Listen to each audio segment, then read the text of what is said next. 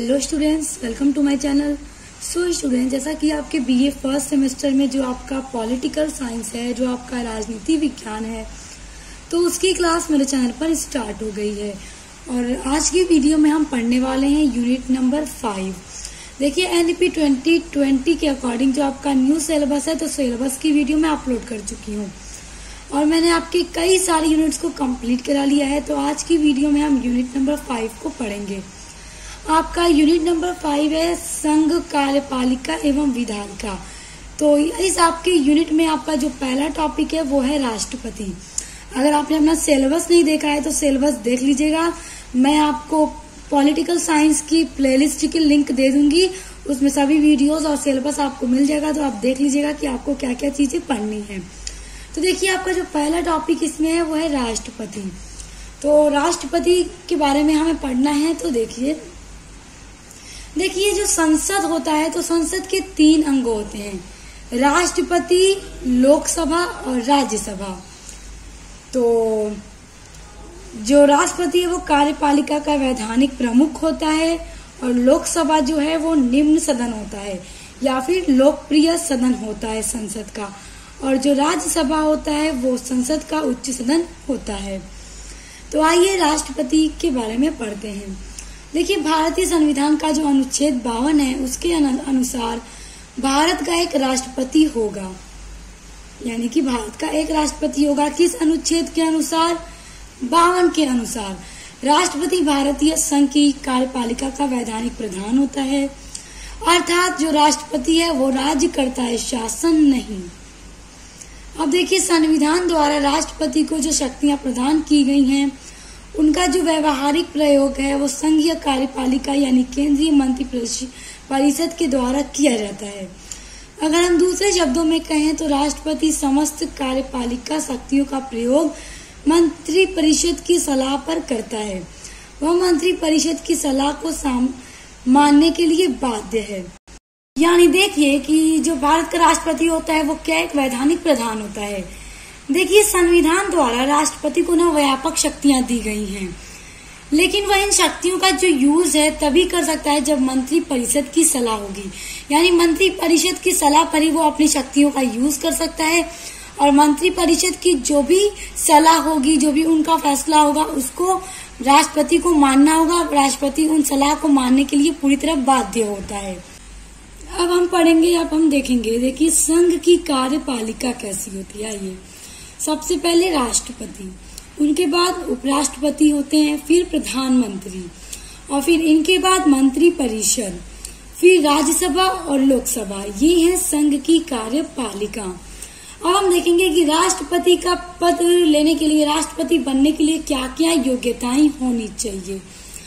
तो देखिए, सबसे पहली योग्यता ये है कि वो भारत का नागरिक होना चाहिए, जिस व्यक्ति को राष्ट्रपति बनना है। वही व्यक्ति राष्ट्रपति बन सकता है जो भारत का नागरिक होगा। और उस, वो उसकी जो उम्र होगी, वो 35 वर्ष की आयु पूरी कंप्लीट कर चुका होगा। यानी 35 साल से पहले वो राष्ट्रपति के पद पर नहीं हो सकता। और देखिए, लोकसभा का सदस्य निर्वाचित होने की उसमें योग्यता होनी चाहिए। कि वो लोकसभा का सदस्य हो सकता है, उसमें ये सारी योग्यता होनी चाहिए, तभी वो राष्ट्रपति बन सकता है। उसके बाद जो अगली योग्यता है, वह यह है कि वह संघ अथवा राज्य सरकार के अधीन किसी और लाभ के पद पर न हो। यानी कि दूसरे लाभ के पद पर नहीं होगा, तभी वो राष्ट्रपति बन पाएगा। तो राष्ट्रपति पद की योग्यताएँ अक्सर एग्ज़ाम में पूछी जाती हैं तो इसको याद रखिएगा। अब हम देखेंगे अगली हेडिंग है, राष्ट्रपति का निर्वाचन कैसे होता है। तो देखिए, भारत के संविधान का जो अनुच्छेद चौवन है उसके अनुसार राष्ट्रपति का निर्वाचन एक निर्वाचक मंडल द्वारा किया जाएगा, जिसमें पहला है कि संसद के दोनों सदनों के निर्वाचित सदस्य होंगे, यानी दो संसद के दोनों सदन, यानी लोकसभा और राज्यसभा सभा में जो निर्वाचित सदस्य होंगे वो होंगे राष्ट्रपति के निर्वाचन में, और दूसरा ये कि राज्यों की विधानसभाओं के निर्वाचित सदस्य तथा संघीय क्षेत्रों की विधानसभाओं के जो भी निर्वाचित सदस्य हैं वो सम्मिलित होंगे। अब देखिए आपकी अगली हेडिंग है राष्ट्रपति का कार्यकाल। देखिए, राष्ट्रपति का कार्यकाल भी अक्सर एग्ज़ाम में पूछा जाता है। तो देखिए, जो राष्ट्रपति का कार्यकाल होता है, वो पाँच वर्ष का होता है। लेकिन अगर वो चाहे तो पाँच वर्ष से पहले भी त्याग पत्र दे सकता है। देखिए, अब हम देखेंगे महाभियोग के बारे में, क्योंकि ये भी अक्सर एग्ज़ाम में पूछा जाता है, बहुत इंपॉर्टेंट है।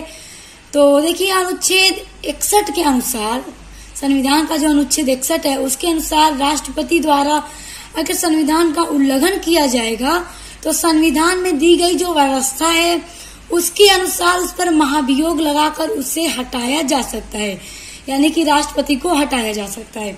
और यहाँ पर एक बात और ध्यान दीजिए कि अगर राष्ट्रपति अपने कार्यकाल को पूरा होने से पहले त्याग पत्र दे दे या महाभियोग के द्वारा उसे हटा दिया जाए या फिर अगर उसकी मृत्यु हो जाए तो छह महीने से ज़्यादा राष्ट्रपति का जो स्थान है वो खाली नहीं रह सकता। छह महीने के अंदर ही नए राष्ट्रपति का निर्वाचन होना अनिवार्य है। और अगर जो नया राष्ट्रपति जिसका निर्वाचन होगा तो उसका अपना वहाँ से नया कार्यकाल शुरू होगा और फिर वो वहाँ से लेकर पाँच वर्ष तक उसका कार्यकाल माना जाएगा, उसका कार्यकाल होगा। तो आई होप आप ये समझ गए कि राष्ट्रपति का कार्यकाल कितना होता है और महाभियोग क्या होता है, अगर उसे हरा दिया जाए या फिर वो त्यागपत्र दे दे तो छह महीने के अंदर ही दूसरे राष्ट्रपति का निर्वाचन करना ज़रूरी है।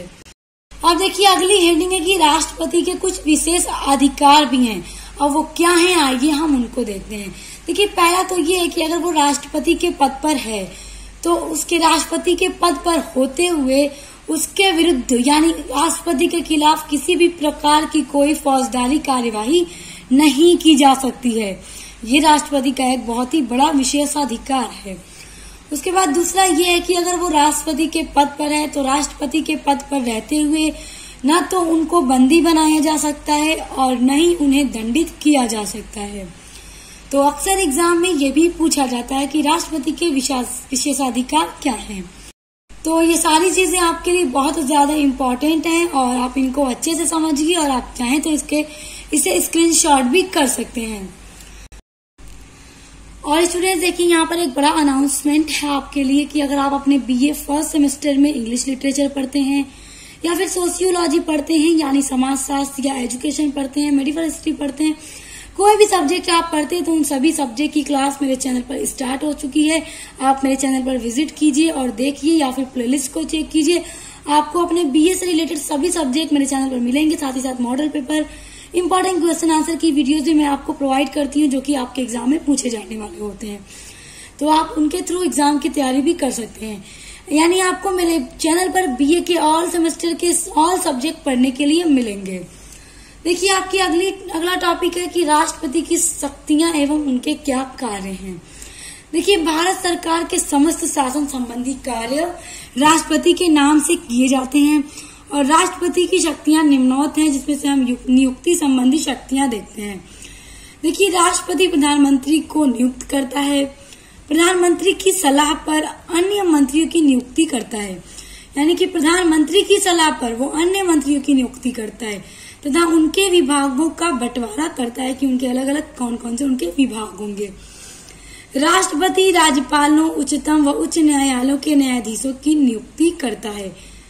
तो आज के वीडियो में हमने राष्ट्रपति से रिलेटेड बहुत सारी इंपॉर्टेंट चीज़ें पढ़ी हैं, जो कि आपके एग्ज़ाम में पूछी जाएँगी। तो आप इनको अच्छे से नोट डाउन कर लीजिए। आई होप कि आपको ये सारी चीज़ें समझ में भी आ गई होंगी। और इसमें मैंने जितनी भी यूनिट्स आपकी कंप्लीट करा रखी है, मैं प्लेलिस्ट आपको इसी वीडियो के डिस्क्रिप्शन बॉक्स में दे दूँगी। तो आप प्लेलिस्ट की लिंक ओपन करके देख लीजिएगा। और आगे के यूनिट्स को पढ़ने के लिए चैनल को सब्सक्राइब करके बेल आइकन को प्रेस कर लीजिए। तो अब मिलते हैं नेक्स्ट वीडियो के साथ।